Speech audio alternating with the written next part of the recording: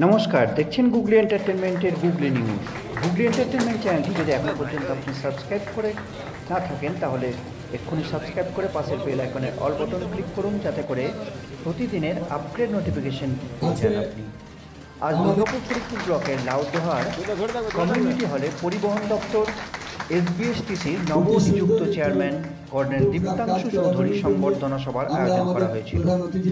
এই অনুষ্ঠানে উপস্থিত ছিলেন দুর্গাপুর ফরিদপুর ব্লক সভাপতি সুজিত মুখার্জি, আসানসোলের মেয়র তথা পাণ্ডবেশ্বরের বিধায়ক জিতেন্দ্র কুমার তেওয়ারি মহাশয় এবং তৃণমূল কংগ্রেসের অন্যান্য নেতা, কর্মী ও সমর্থকেরাও উপস্থিত ছিলেন।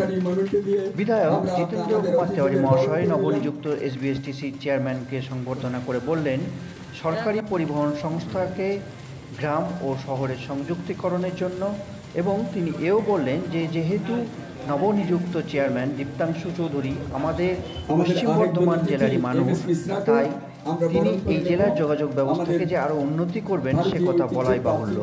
তাই আমরা জেলার মানুষেরা নতুন কিছু অবশ্যই আশা করতে পারি এবং তাতেই পরিবহন ব্যবস্থার আরও উন্নতি হবার সম্পূর্ণ আশা রাখছি এম এস মিশ্রা মহাশয়কে বরণ করে নিচ্ছেন।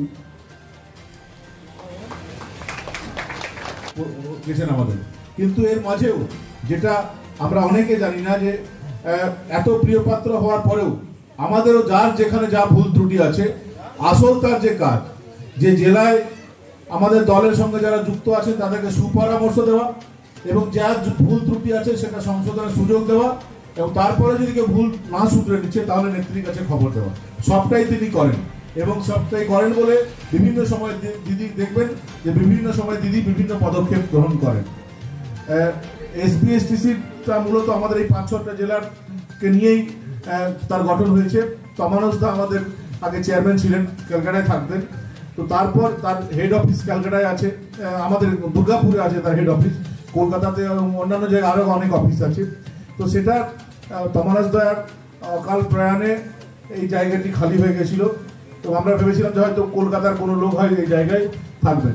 কিন্তু তখন আমরা একবারও বুঝিনি যে এরকম একটা গুরুত্বপূর্ণ জায়গায় দিদি তার সবচেয়ে প্রিয়জন বলতে যাকে এখন আমরা দেখছি, সবসময় যিনি দিদির সঙ্গে থাকেন বা দল কীভাবে আরও ভালোভাবে চলবে, তার জন্য তিনি যেটা ফিল করেন, মাটিতে গিয়ে মানে ঘরে বসে না। বিভিন্ন কর্মীদের সঙ্গে আলাপচারিতার মাধ্যমে যেটা ফিল করে, সেটা দিদি- দিদিকে বিভিন্ন সময় তিনি ফিডব্যাক দেন। তো সেই ব্যক্তিকে, সেই কর্নেল সাহেবকে এখানে দিদি চেয়ারম্যান নিয়োগ করেছেন। আগামীকাল তিনি সেখানে চার্জ নেবেন। আমাদের জন্য যে বাড়তি সুবিধা হলো, যে যেহেতু তার হেডকোয়ার্টারটা দুর্গাপুরে স্বাভাবিকভাবে তার নিজের কাজকর্ম করতে গেলে তাকে দুর্গাপুরে একটু বেশি সময় দিতে হবে।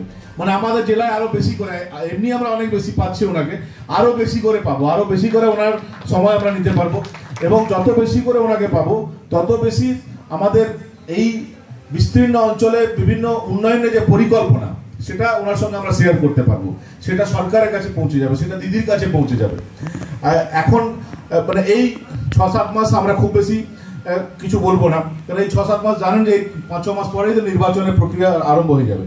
কিন্তু যেটা আমাদের আসল সুফল আমরা পাবো কিন্তু দু হাজার একুশের পর, নির্বাচনের পর নির্বাচনের পর মানে যাতায়াতের যে একটা সুবিধা বলুন, তার, সেটা নিয়ে যে সরকারি পরিকল্পনা বলুন, সেটার জন্য নতুন করে যখন শুরু করবেন, তখন নিশ্চয়ই এই যারা গ্রামাঞ্চল যেটা আছে, যেটা আপনি লাউদোয়া ধরতে পারেন পাণ্ডবেশ্বর জামুরিয়া রানীগঞ্জ, অন্ডাল উকড়া আপনি আসানসোল উত্তরে চলে যান, তাহলে গাড়ুই কন্যাপুর আসানসোল দক্ষিণে চলে গেলে ধেনুয়া, কালাঝরিয়া, এই যে গ্রামাঞ্চল যেটা আছে, এই গ্রামাঞ্চলকেও কি করে আমাদের সরকারের যে পরিবহন ব্যবস্থা, তার সঙ্গে যুক্ত করা যায়। এটা একটা বড় প্ল্যান হবে নিশ্চয়ই, কিন্তু সেটার মানে সেটা তিনি আরও বেটার ওয়েতে করতে পারবেন। কারণ এর আগে কি করতাম, আমরা একটা পিটিশন দিতাম, যারা বসে থাকতেন, তারা যেটা বিশ্বাস করতেন, সেটা করতেন, যারা বিশ্বাস করতেন না, সেটা করতেন। তাদের কাছে এত সুযোগ ছিল না নিজের চোখে গিয়ে দেখে নেওয়া।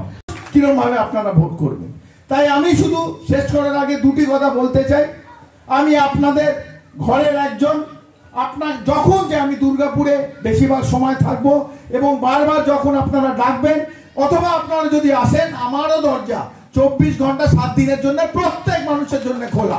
আমার কোনো আমি অ্যাপয়েন্টমেন্ট মানি না, আমি মানুষের ওপর কিছু বুঝি না। সবাই আমার কাছে যখন ইচ্ছে যে সময় আসতে পারেন। জিতেন্দা আছে, আমার মনে হয় না আমার কাছে আসা আপনাদের সেই আগেই আপনাদের কোনো প্রবলেম থাকলে রিজলভ হয়ে যাবে।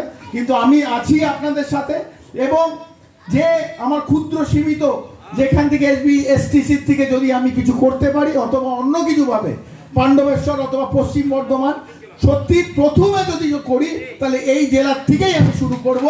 আমি কালকে অ্যাপয়েন্টমেন্ট নেওয়ার পর এই বলে আমি শেষ করছি। সবাই ভালো থাকবেন। ক্ষমা প্রার্থী অনেকক্ষণ ধরে বসে আছে ক্ষমা দু ঘণ্টা আপনাদের ওয়েট করতে হলো। কিন্তু ঘরের ছেলে নিশ্চয়ই মাফ করে দেবেন। ভালো থাকবেন। বন্দে মাতরম। কথাটা আপনারা প্রত্যেকে কেটে দিন। নিজের বাড়ির একজন আপনাদের সঙ্গে কথা বলতে এসেছে। এবং আজকে মঞ্চে আমাদের সাথে বিভিন্ন পঞ্চায়েত সমিতির প্রধান সদস্য সদস্যা, প্রধান পঞ্চায়েতের প্রধান উপপ্রধানরা আছেন, মিশ্রাজি আছেন, অনুপদা আছেন, এবং সর্বোপরি আপনারা অনেকক্ষণ ধরে বসে আছেন, আর আমি দীর্ঘায়িত করব না, অল্প একটা দুটো কথা বলব। এবং যা ডাকে আজ আমি সকাল দাদা আপনি যে মানে নবনির্বাচিত চেয়ারম্যান প্রথম আপনার মানে আমাদের খনি অঞ্চলের এদিকে বাদ দেখা যায়। এখন আমি পশ্চিম বর্ধমানে যেহেতু পর্যবেক্ষক, তাই একটু আমিও পার্সিয়াল আমি তো মানুষ, পার্সিয়াল, তাই প্রথম যদি আমার কিছুভাবে ইমপ্রুভমেন্ট করতে চাই, উন্নয়ন হয়, তো সমস্ত জেলা থেকে পশ্চিম বর্ধমান থেকে আমি শুরু করব সবাই সেম পাবে, কিন্তু পশ্চিম বর্ধমান থেকে আমরা শুরু করব, এবং আমি দেখতে চাই যে এসবিএসটিতে নিশ্চয়ই অনেক ভালো কাজ হচ্ছে, অনেক ভালো কাজ চলছে তমনতা অকাল প্রয়াণে আমরা শোকাহত। কিন্তু উনি যে কাজটা চালিয়েছেন, ওনার যে উন্নয়ন যেরমভাবে করেছেন, আমরা সেটা চালিয়ে যাওয়ার চেষ্টা করব। আর এর মধ্যে খুব কম সময় আছে, এখন ইলেকশন দু হাজার একুশে ইলেকশন তার আগে খুব কম সময়। এর মধ্যে আমরা যতটা পারি রেভিনিউ যতটা বাড়তে পারে, এক ওইটা। এবং সেকেন্ডলি যে গ্রাম উন্নয়ন, গ্রামের থেকে শহরকে জোড়া। যে গ্রামের মানুষ মফস্বল থেকে যেন শহরে যেতে পারে, চিকিৎসা হতে পারে বাস যতই বেশি দেয়া যেতে পারে, সেই দিকে আমার প্রধান লক্ষ্য।